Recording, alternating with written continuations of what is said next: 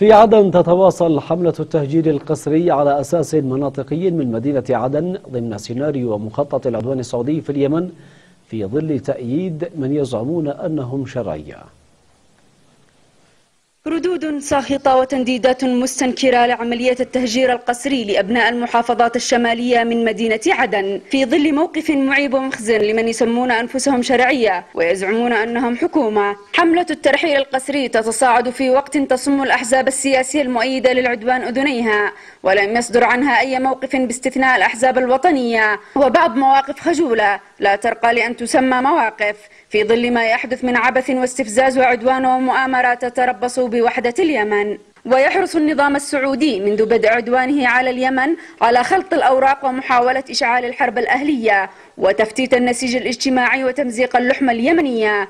وتتجلى فصول المؤامرة في محاولة استهداف وحدة اليمنيين وتجزئة بلدهم وإحداث شرخ عميق بين أبناء الشعب. مسرحية هزلية منفذيها عملاء العدوان السعودي في مدينة عدن وأبطالها سلطة الفار المستقيل هادي وحكومتها المقيمة في الرياض التي لم تترك وسيلة إلا واستخدمتها للانتقام من الشعب بتنفيذ مخططات العدو وبيع الأوطان والتنازل عن وحدة اليمن وتدمير مقدرات الوطن. وفيما تتزايد فصول المؤامرة الكبرى على اليمن. تتضح أهداف اللعبة التي تديرها السعودية والعائلة الحاكمة فيها. يوما وراء آخر. في تكريس الفوضى ودعم وإذكاء الصراعات بين اليمنيين ومحاولة الذهاب بالبلاد نحو النفق المظلم. وقد تجلت أبعاد المخطط في هذه الحملة واستمرار عمليات التحشيد العسكري الأجنبي إلى المحافظات الجنوبية.